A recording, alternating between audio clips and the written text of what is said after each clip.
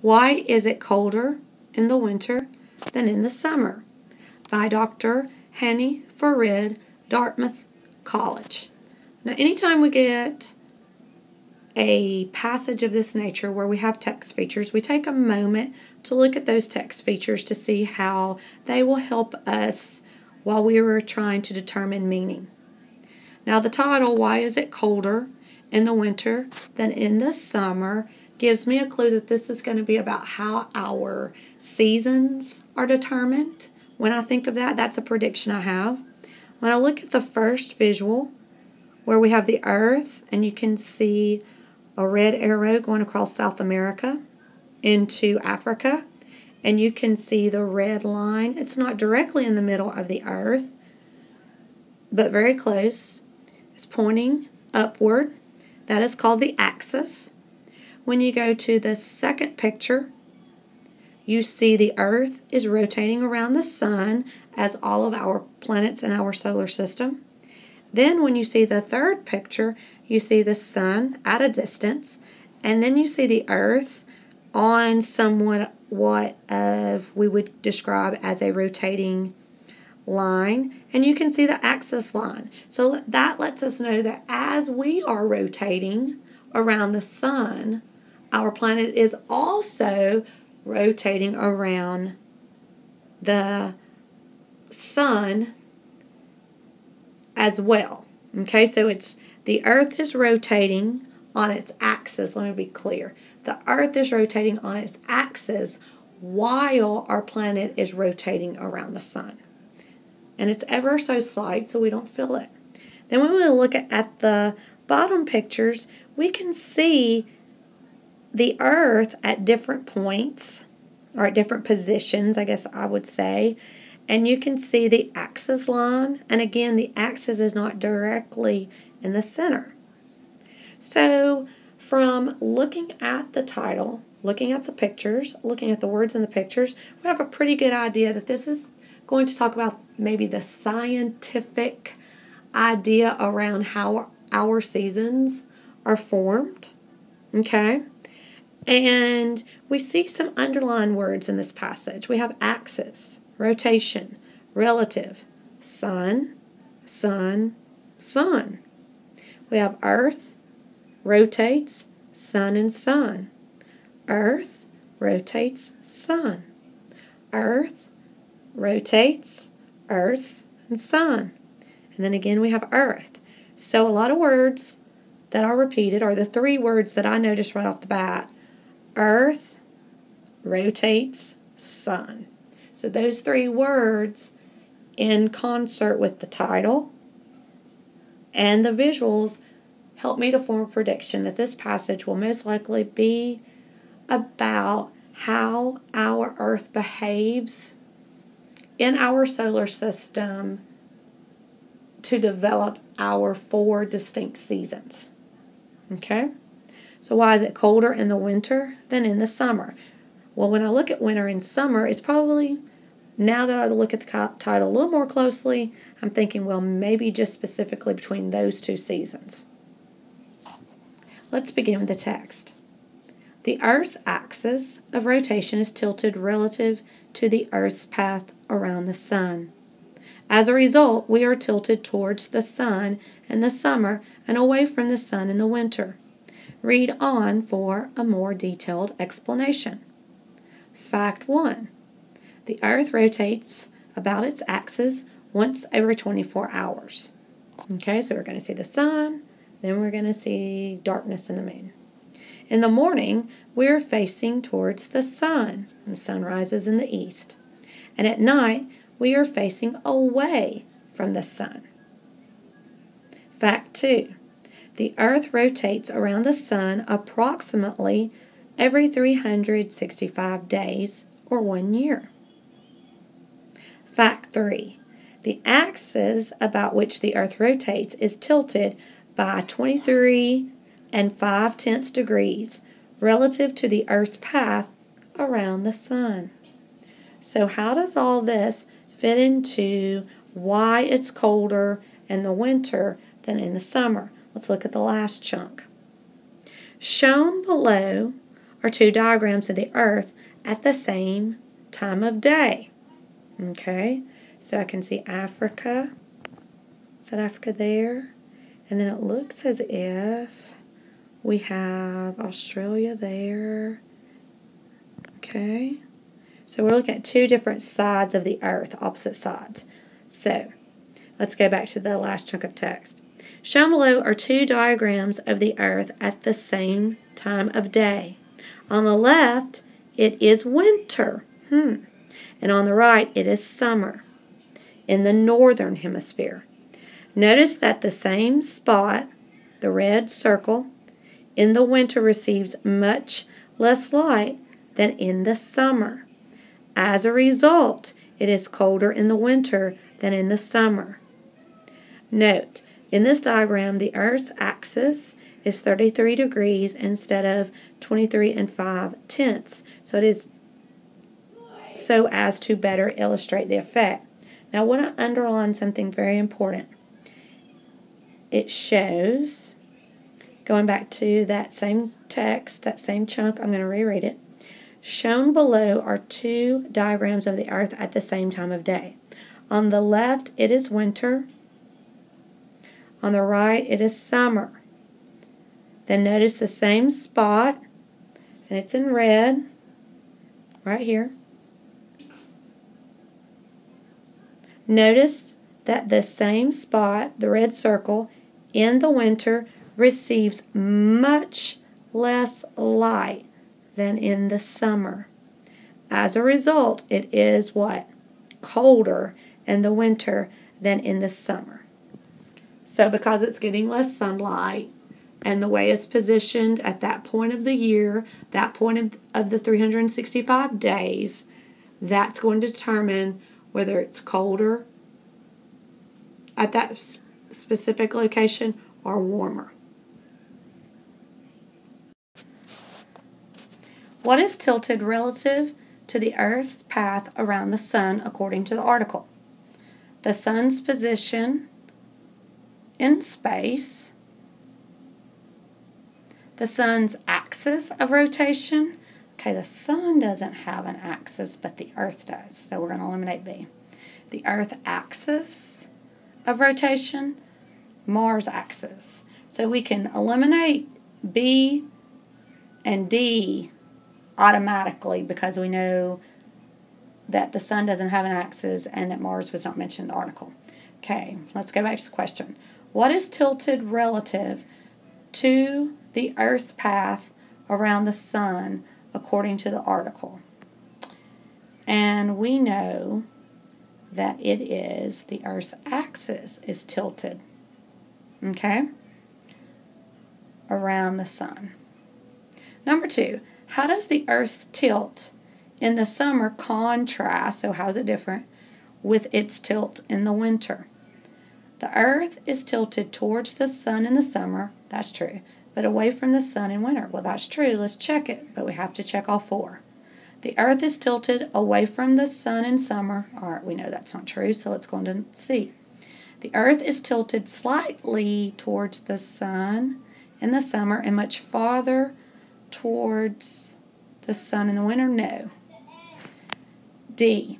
The Earth is tilted slightly away from the sun in the summer, but much farther away in the winter. No. So, although a through D had similar answers. We must go back to A. Number three, read Fact 1 and look at the image next to it. The Earth rotates about its axis once every 24 hours. In the morning, we are facing towards the sun, and at night, we are facing away from the sun.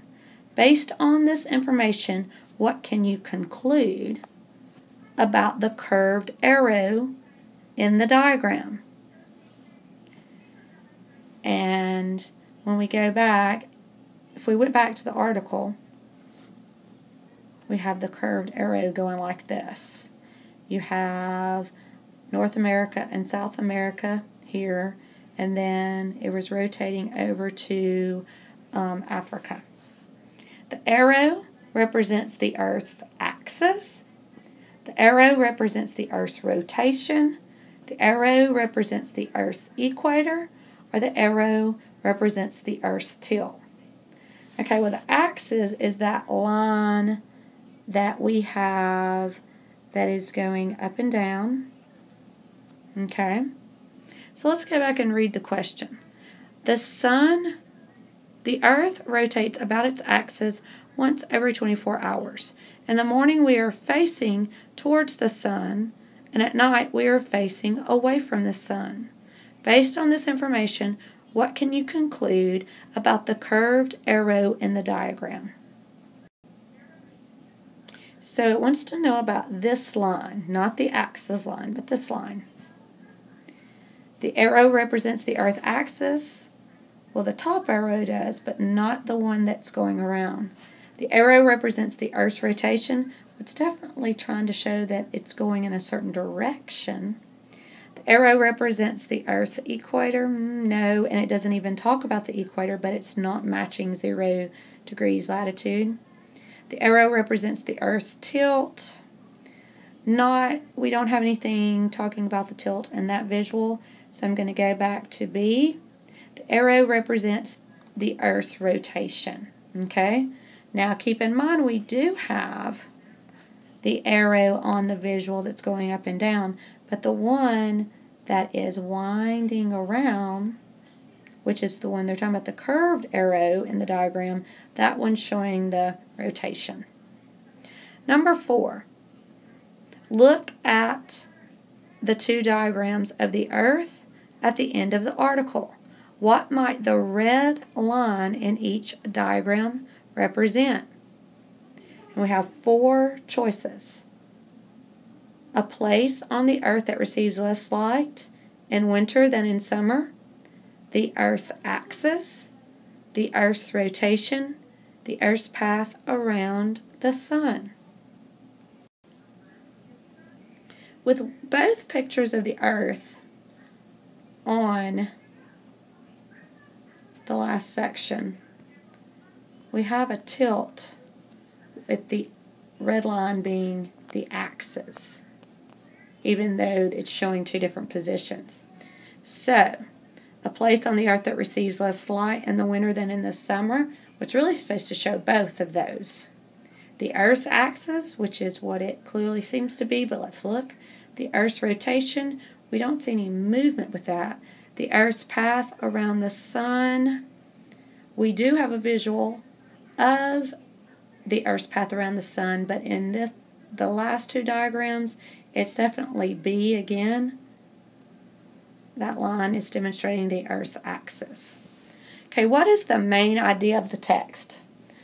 Okay, let's go back to the question. Is it colder in the winter? Or why? Why is it colder in the winter than in the summer? And we kept we saw the word rotate, we saw the word sun, we saw the word earth and axis multiple times. So let's see how that pay, plays into this answer. What is the main idea? So we're going to have to put a lot together to come up with the main idea. The earth rotates around its axis once every 24 hours. That's a very important detail, but we learn more things. The Earth rotates around the Sun approximately every 365 days. Again, an important detail that matches the main idea and supports the main idea, but not completely the main idea. The axis around which the Earth rotates is tilted by 23 and 5 tenths degrees relative to the Earth's path around the Sun. That's an important supporting detail. But again, is it getting to the essence of what the entire article was about? And then we have winter is colder than summer because Earth's axis of rotation is tilted. Hmm. So in the title we have winter and cold. On letter D we have winter, colder, summer, then we have some more repeated words, earth, axis, and rotation. So based on the fact that A, B, and C are supporting details, we can put our finger on those facts in the actual passage. We're not saying those facts did not occur, but they're supporting details that support letter D. Winter is colder than summer because Earth's axis of rotation is tilted.